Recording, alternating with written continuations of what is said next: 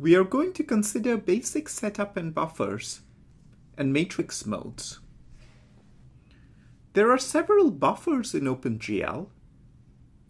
The front buffer into which you can draw, the back buffer into which you often draw in order that you can have a complete drawing before swapping into the front buffer, left and right buffers which are used for stereo that are often useful in the context of virtual reality, as well as the depth or the Z buffer.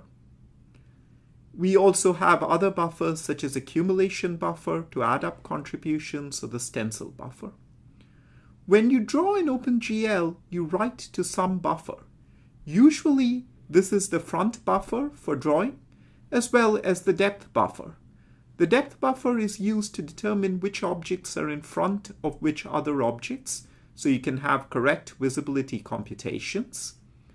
Often we will do something known as double buffering where you actually write to the back buffer and once you have drawn the scene you swap with the front buffer. Note that buffers are also used for vertices to get information about the vertices and the geometry in the scene. In fact, we will be using buffer arrays for our drawing, which is very important in modern OpenGL. Note that there are no window system interactions built into OpenGL for portability reasons.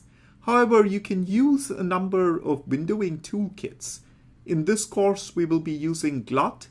There is equivalent version known as FreeGLUT, but there are also other toolkits such as Motif, GLX, and Tcl/Tk the interaction with the mouse, with the keyboard, with the window system is implemented as callback functions which call user-defined functions to interact with when a mouse button is clicked or when a keyboard key is pressed.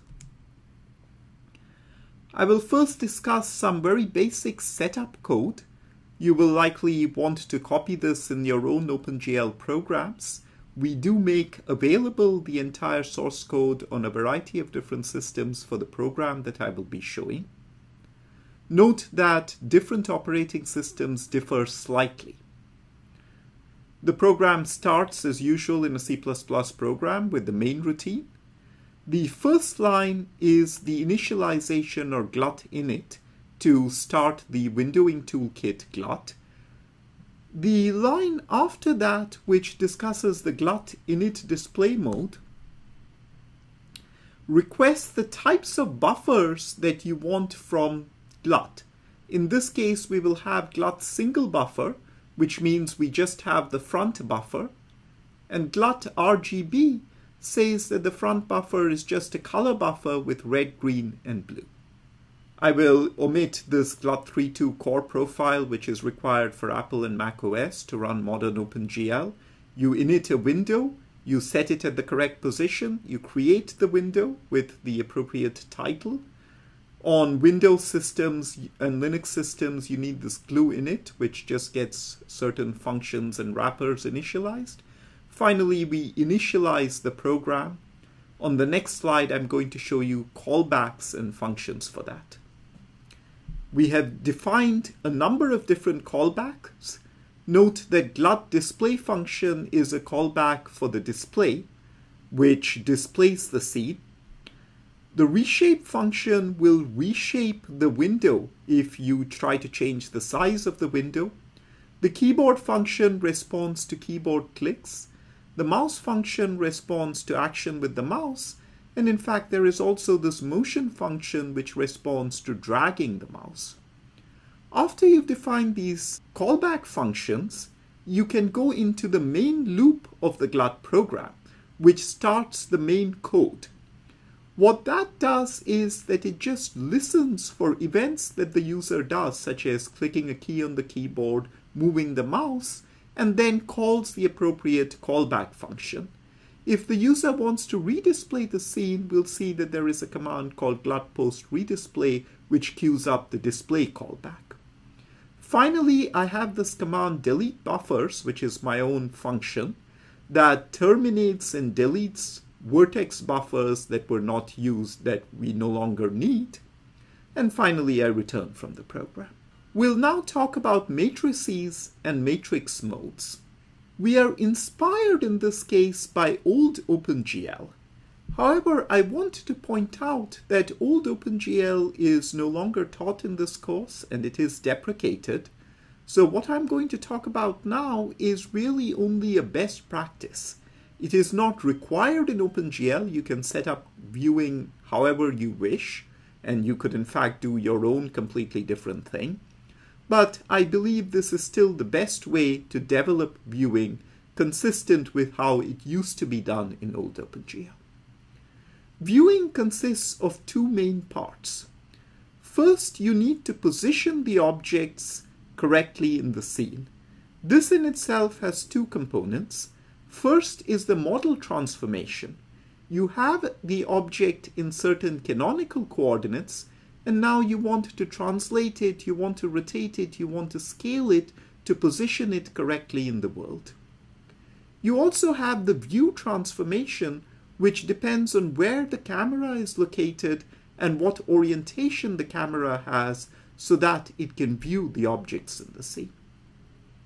Taken together, these are known as the model view transformation matrix. The second aspect is what is known as the projection operation or the projection transformation matrix, where you take this 3D world and you have to project it based on the camera onto a 2D image.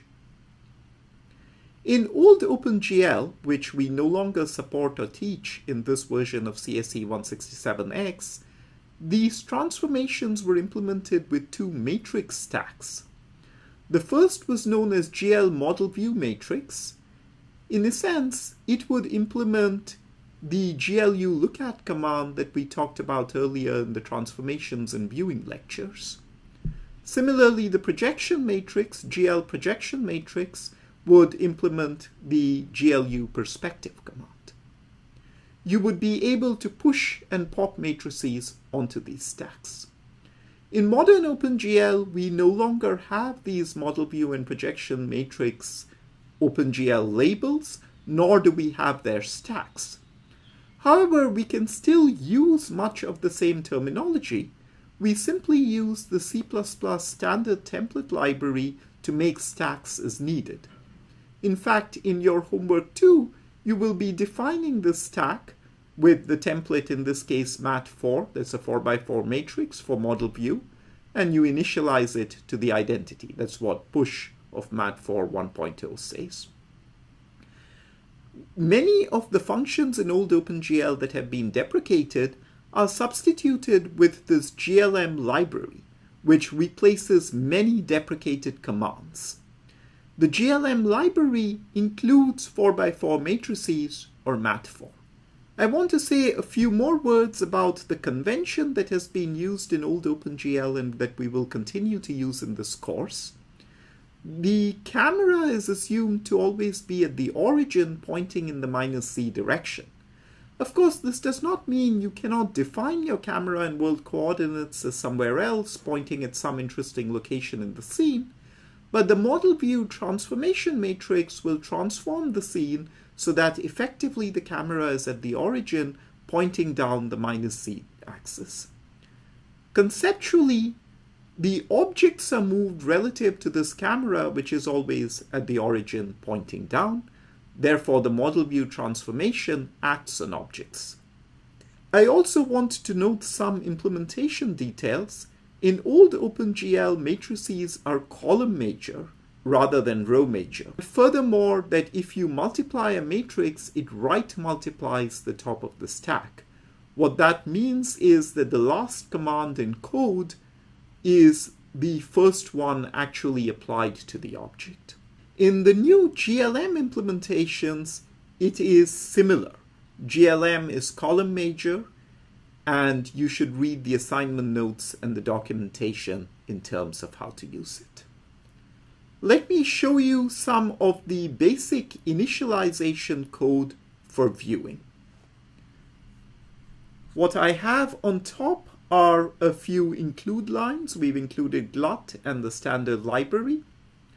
We have a couple of commands for the mouse motion. we have the location of the eye, which is initially at 0, minus 2, and 2. And we have defined two 4x4 matrices for the projection and model view matrices. This abbreviation MV stands for model view in the comment, and P stands for projection. The combination is often referred to as MVP. In the init routine, we first set a clearing color, which in this case is just black and then we initialize certain values. The projection matrix is originally initialized to the identity, so mat4 with 1 just puts 1s along the main diagonal, that's the identity 4x4 matrix. Thereafter, we identify and we initialize the model view matrix with the glm lookat command, which is the glm equivalent of the deprecated OpenGL GLU lookat command. It takes the eye location, remember that this is set now to 0, minus 2, 2. It takes the lookat location, the camera is looking at the origin, and it takes an up vector. Note that the up vector does not need to be normalized or does not need to be orthogonalized to anything. The glm lookat command will automatically create an orthogonal coordinate frame and set up the camera transformation appropriately. In the next segment, we will continue talking about the initialization routine and also the setup for the geometry and the shader.